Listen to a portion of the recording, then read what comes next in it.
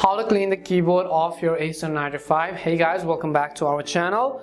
I'm Bimo from Genie Guide and in today's guide video I will show you the way on how you can clean the keyboard of your Nitro 5 but before we get started if you are new to our channel then make sure to leave a like hit that subscribe button and without any further ado let's get started with today's video now over time, your keyboard could consume a lot of dust and the dirt depending upon the environment you're living in, depending upon the environment your laptop has ever been in. Keep in mind that I'm not going to actually deep clean it. Now deep clean basically means that you open up all of the screws from the back and then go ahead and clean them within the motherboard or within the parts of this laptop. But I will simply show you the software on how you can actually clean it. So first of all, you have to simply shut down or turn off your laptop. So let me go ahead and then turn off my laptop as well.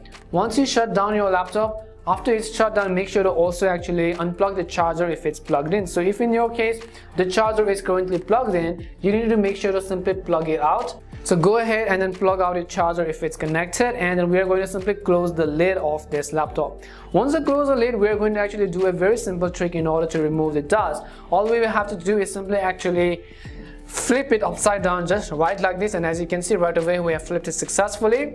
Now what we have to do is simply actually gently tap on this back of the laptop right over here. What this does is actually going to throw out some of the dust from the keyboard. So go ahead and then simply gently tap on it. Make sure to not to be too hard on it as that is going to remove or that is going to damage the motherboards and the internal parts of this laptop. So go ahead and simply gently tap on it. So let me just go ahead and repeat this process. Keyboards as for the other parts as well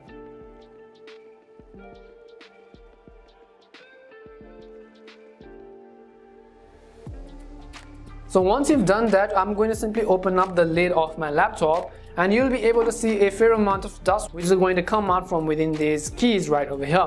Now if you have a blower then you could go ahead and simply blow out all of those dust or you can do them manually through your system as well but after that what we can do is we can simply wipe off the dust right over here. Now what we will do is if you have a soft cotton cloth, you could go ahead and use that. And if you have a liquid which is used to clean all of these, then you could go ahead and use that as well. Now we're going to clean it, but make sure to do not directly spread it over here on the keys as that could damage the internal parts of it. What we will do is we'll spread them on this cloth which you see. So I will go ahead and spread them accordingly.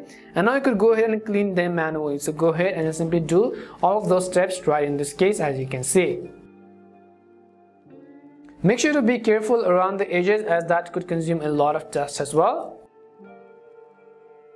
and hopefully this would actually clean your keyboard at least to a mild level if not if not a deep clean. And you can try this simply at home. It's really safe. You don't have to worry about the laptop getting damaged or anything.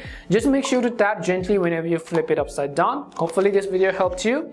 And if it did help you then make sure to leave a like and subscribe to the channel. If you have any more questions make sure to also leave them down. Thank you very much for watching till the end. And see you soon in our next video